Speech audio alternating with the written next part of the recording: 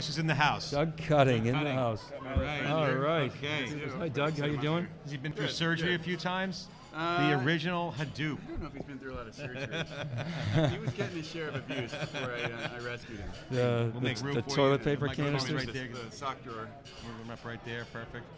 Sit close to the mic. so- Take a little snooze. Okay, Welcome Doug, back to the Cube, Doug. You're a, you're a Cube alum. You were at, at the Cloudera offices. You were on the Cube, and we, I don't think we were live that day, but now you're No, live. we were so- not live that day. This So is the- welcome. Welcome Thank to you. in, you're Thank you inside the cube where we want to extract some knowledge out of your head and and, uh, and and and share with the folks out there. Hadoop movement. It's officially it's officially a movement. This is a cube? This is called the cube.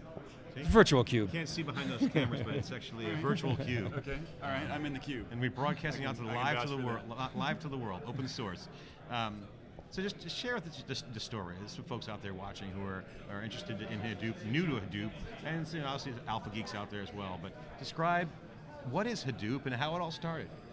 Uh, well, um, started a long time ago. Uh, I was um, working on a project called Nutch, uh, which was um, uh, trying to, it was sort of ambitious open source project, trying to build uh, sort of the open source equivalent of what you know Google and, and Yahoo and Bing have, which is a, a web search engine that crawls and indexes the entire web.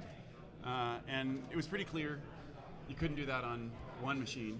Uh, that's you know uh, lots and lots of pages. Data. The Little we bottleneck there. the time we started, we were, we were figuring it was a, you know in the, a, a billion pages, maybe a couple of billion, uh, and uh, then you know by the time we got very far along, it was tens to hundred to hundred billion uh, pages of content that you needed to be able to, to collect, um, and uh, and you need to refresh it pretty regularly, you know every week or at least every month Yeah. or so, because things change. You need to go and check to see if they've changed. Um, uh, so we figured out a way to do this on a bunch of computers, sort of got the algorithm straight, and um, and we're able to run it on four machines and do 100 million pages. Um, but it took you know like one guy full time there copying files and shuffling things around between these four machines that were you know running in parallel.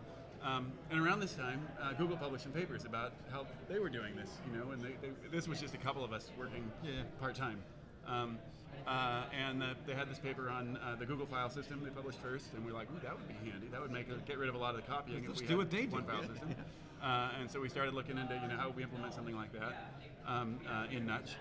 Um, uh, then a year or so later, they published a paper about this MapReduce system, which um, uh, was a, a way to actually um, uh, process the data that was stored in this distributed system. And we're like, that's exactly what we need. It was a, the same family of algorithms that we were already using, um, but directly supported by the framework, and all automated, so that if, if things, if you had, you know, one disk was getting full, you know, some machines crashing, stuff like that, all the stuff that we had to do by hand was done automatically. Where you just say go, and then you go have some coffee or go to sleep and come back the What a day and gift. you're done. It's Yeah, nice It's gift. like that's a nice design.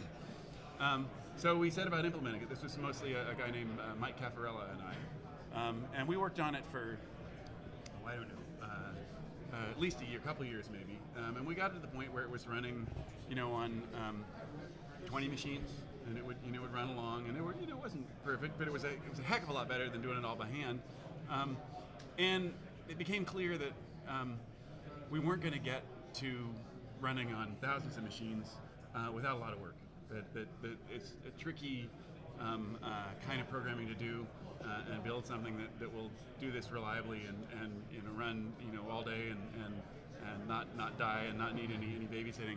Um, so uh, we um, around that time uh, Yahoo came and talked to me and Yahoo said you know we, we need something like And this. was Amber Amber was there at the time? Um, uh, it was um, uh, Eric 14, was, uh, uh, Eric Baldeschwieler, who's a, a manager of the group there, um, was the person I talked to. Um, also, my uh, the, the person I ended up working for was a guy named Raymie Stata, who's now the uh, CTO, I believe, of Yahoo. Um, uh, and they were interested in, in this kind of technology.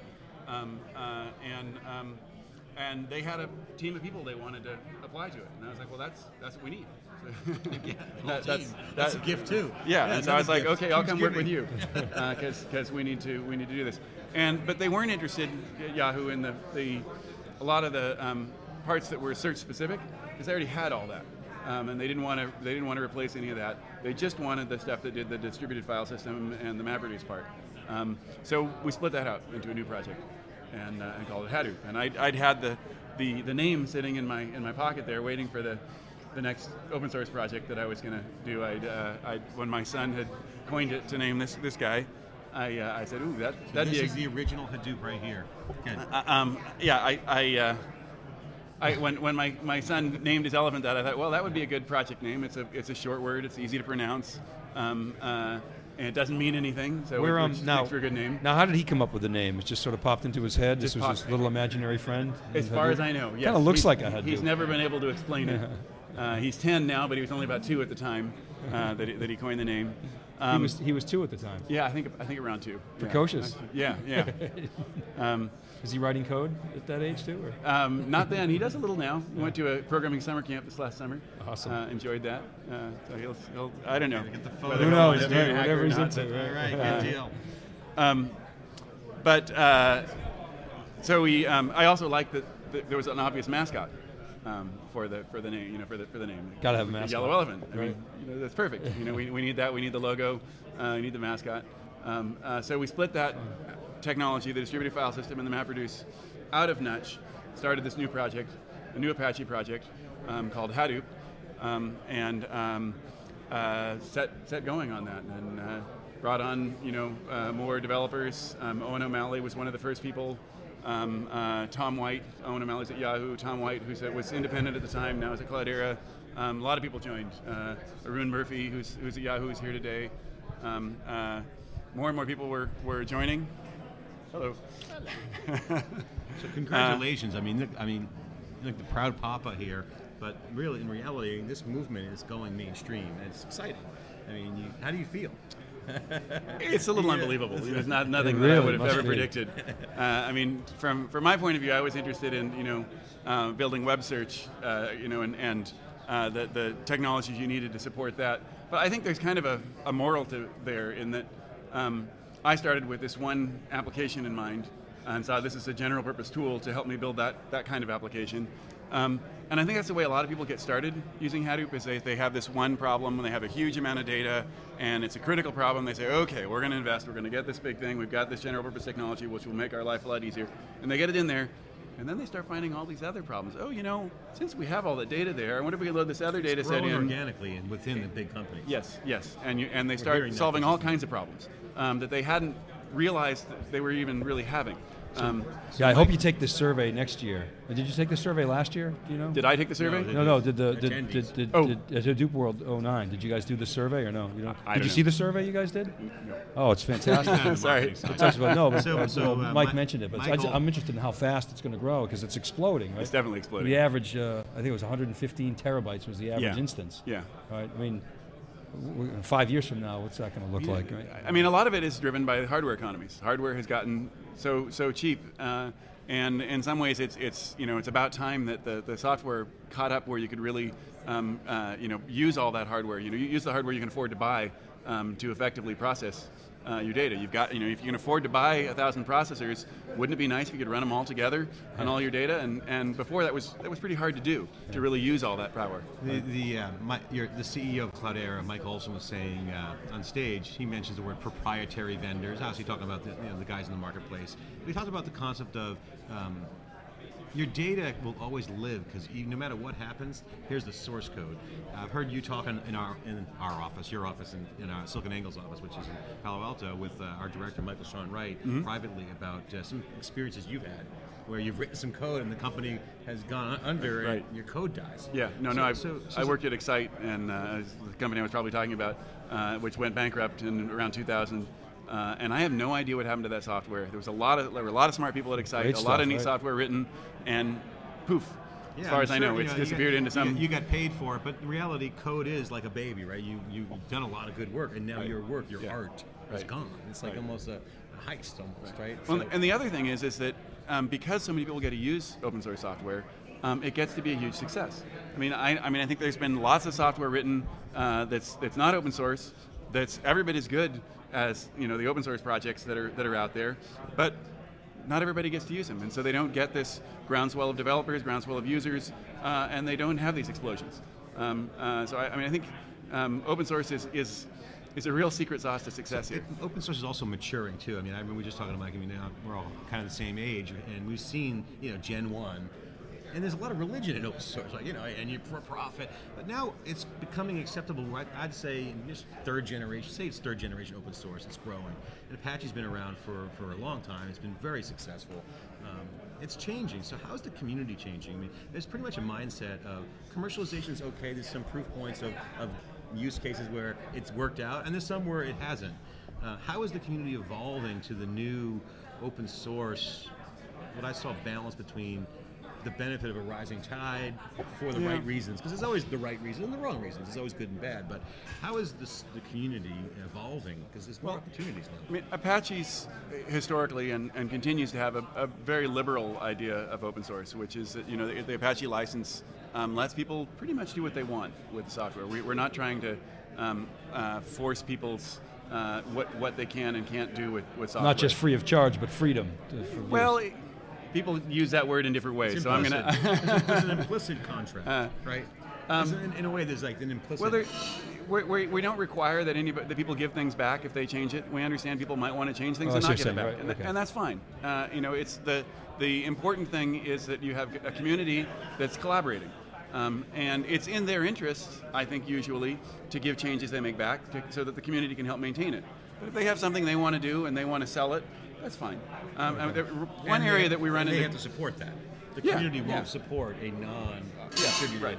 Um, the one area where we sometimes run into conflict is, is trademarks, um, where we, we don't want there to be confusion. You know, what is Hadoop? Is it, you know, a- and, and you want it to be one thing. You don't want it to be there a lot of confusion. And, and so the Apache Software Foundation says, you know, we own the name Hadoop, and we get to control what you can call Hadoop and have rules around, around that. Um, but anybody could take it and call it something else and do whatever they want with it. The code itself isn't, isn't you know, we're not proprietary about. Um, so that's, uh, that's sort of the, yeah, the okay. we So you don't want to fork the code base. Well, you can fork it. You can Well, fork you it. can, just- but you don't it would be confusing the to have two forks mindset, called the same yeah. thing. Yeah, okay. Um, Yeah, uh, you, you could even right. fork it within Apache as long as you, you know, one As of the forks would have to change its name. Yeah, call it You'd have to- Apache, and, and then you might I have mean, some and you- it's a sales job too at that point. I mean, forking is, is a nice uh, little, you know, checks and balances. If there's momentum, Yeah. it's kind of a vote. Vote with your code. I mean, if, if the community, you know, has uh, it's become stagnated somehow, um, then we want people to have the freedom to go and, and fork it and, and say, you know, we're going to do something new and call it Bleeblop, and uh, and it's better than Hadoop, and you know, and it's compatible and so on, and that, that'd be great. That's So fine. Doug, so Doug, how do you spend your time these days? I mean, what's your what's your focus? Um, these days, I'm mostly working on a project called Avro. Uh, when I when I manage to you know sit down and write code, um, which is not as much as I'd like, uh, um, uh, which is trying to establish a um, a standard uh, data uh, representation um, uh, for um, for for example data files um, uh, that people can interchange, read and write from different programming languages. That's that's fairly rich. I mean, today the the real sort of de facto standard data format is you know CSV common, comma separated values or, or tab separated values and, and things like that, which are pretty poor. Um, uh, so trying to build build a layer that um, works well uh, within for the, the wide spectrum of, of Hadoop uh, applications and the, and the Hadoop family applications, which we're seeing. ultimately leads to greater adoption. Okay, Um, uh, so I spent a fair amount of time on that. I spent some time I'm uh, working with uh, the Apache Software Foundation. Uh, I'm on the board of directors. I'm actually the, the chair of the board of directors uh, this year, um, and so that takes a little time.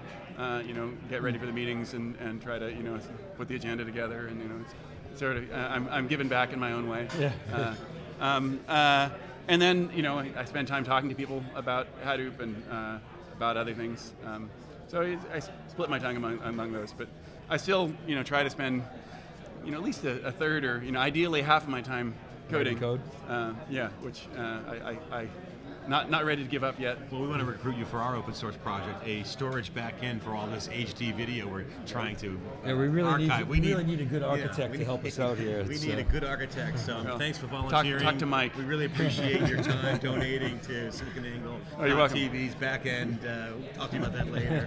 Doug Cutting, the founder of Hadoop, and we're excited to have him here because not only is he a great guy, really believes in open source, gives back, creator of Hadoop, recruited a team, commercialized it, now part of Cloudera's team, um, and built this entire uh, uh, universe, this movement, um, with his friends. And this has now evolved into a full-on movement. Congratulations on all your success and, Thank and you. collaboration. Thank you very much. And uh, thanks for coming inside Oh the yeah, thanks for having me.